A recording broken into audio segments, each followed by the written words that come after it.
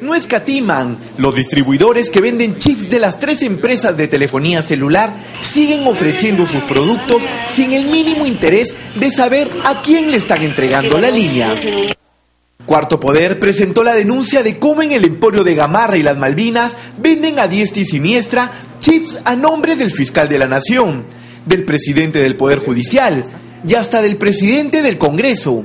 Esta vez, nuestro colaborador compró una línea a nombre de nada más y nada menos que del ministro del Interior. Bastó con escribir el nombre de Wilfredo Pedraza y su DNI.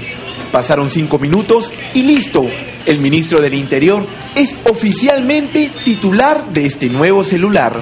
La empresa es así. ¿Cómo la empresa es así? Así, 10 años de.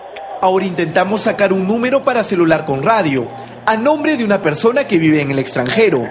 Esta vez, al menos, nos solicitaron más datos. Tu nombre nomás de padre. Mercedes.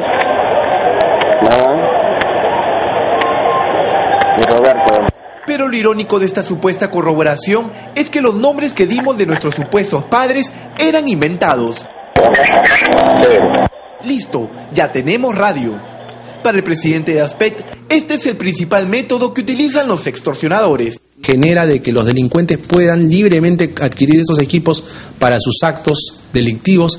Por otro lado, también propicia que otras personas quieran hacerle daño a terceros utilizando su, supuestamente su identidad. Y hay propuestas de solución. tienen que tener un acceso a RENIEC. Y estas distribuidoras tienen que pagar, porque por algo ganan. Y tienen que regularizarse. Tienen que pedirle la identificación correspondiente, el DNI, el, el pasaporte, el carnet de extranjería al que compra y se tiene que dejar constancia del número telefónico. Es algo tan sencillo como eso, pero no se hace.